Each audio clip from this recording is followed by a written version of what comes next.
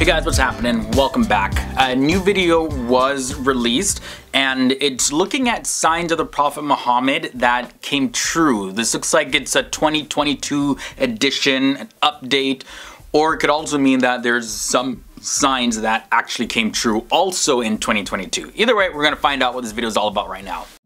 The Prophet ﷺ says, towards the end of time, men from my nation will come who will be on conveyances, on rides, rides, which yeah. resemble the, you know, I don't know if you've seen it, on the camels in the olden days, they used to have like a little hawda, like a little room they used to put for women to ride in. So the Prophet said it resembles that. It resembles an enclosed space. And then the next word of the hadith, it uses the word to depict the comforts of home. So it will be enclosed like the hawda and it would have the comforts of home. A bit like your cars or limousines. You know, there's drinks there, there's comfortable seating, there you can lie down, you can rest. Normally on a horse you couldn't. If you look at the caravans, you can go to the toilet. But I'm not concluding because tomorrow something else might come and it might be a better reflection of the word of the Rasul.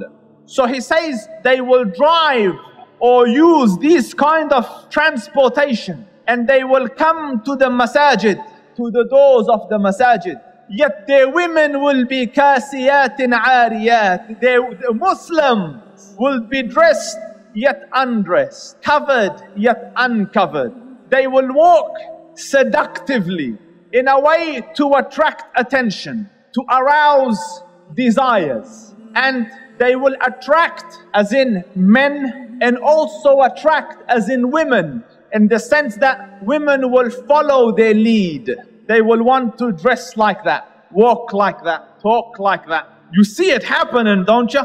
I read research. A young girl, a young teen sees 3,000 advertisements per day in America. When I say advertisements, your head's thinking a TV ad. That's just one. When you're driving, you see billboards, it's an advertisement. A pop-up comes on your screen, it's an advertisement. On your phone, it's an advertisement. So they count 3,000 times a day.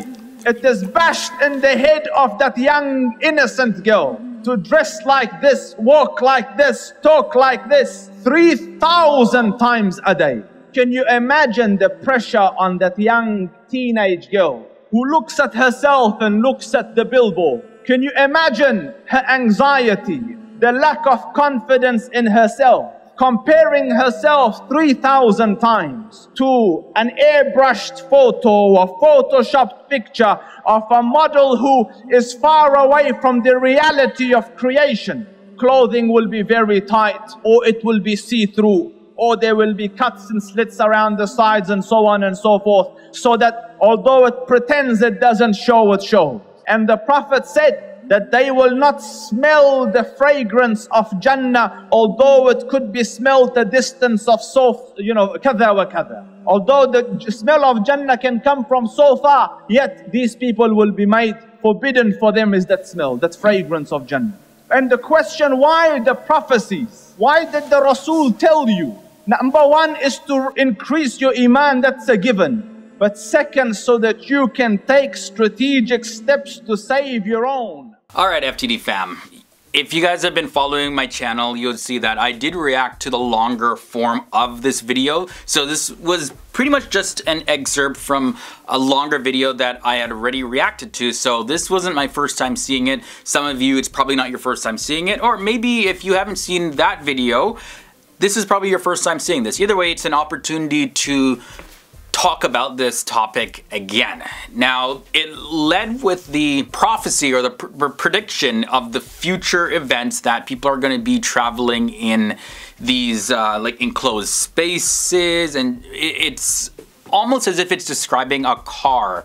And I know the speaker did say that they're not drawing any conclusions about this, so that would be, you know, a little bit dangerous to do, but also something could come later that more accurately reflects what the Prophet Muhammad said. This is according to the speaker of this video.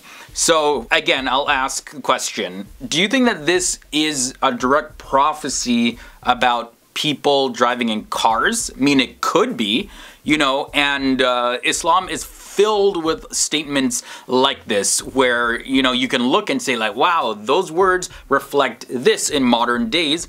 And as the speaker in this video said, it's there to help boost and increase your faith in the religion. And if Muhammad was a prophet who got his direct revelation from God and was speaking of God, of course he's, he's not going to get anything wrong. And this is a test that Muslims use as of identifying a prophet. So it's not necessarily clear that yes, this is a car, but it kind of does sound like it to me anyways, you know, traveling in an enclosed space and whatnot. It, it could mean many other things, but uh, the closest depiction currently in modern times would be that of a vehicle. It could be like a limousine or, or any other type of car or, or vehicle. Now, the next part of the video talked about uh, women and they're gonna be dressed but undressed and you know, clothed but not really clothed.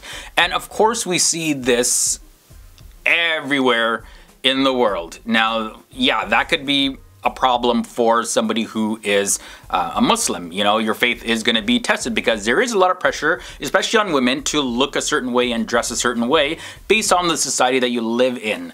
So, really, to overcome that pressure, because it's going to be there, you're going to feel that pressure.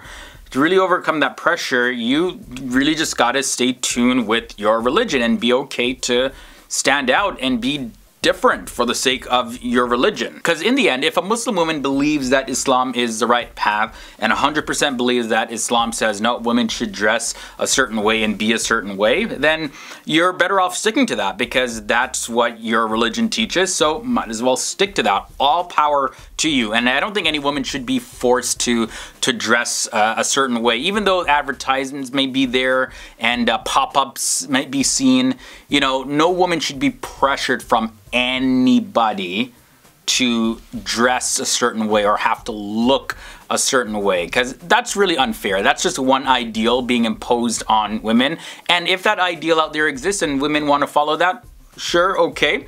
But if you feel it goes against your religion, you know, you're best off sticking to your religion, and I 100% support that standpoint. So that's my two cents on this, guys. Thanks for watching, and maybe thanks for watching again if this is your second time watching me react to this video. This was a short form, though, but I'm curious to know your thoughts and comments once again down below. Thanks for hanging out with me.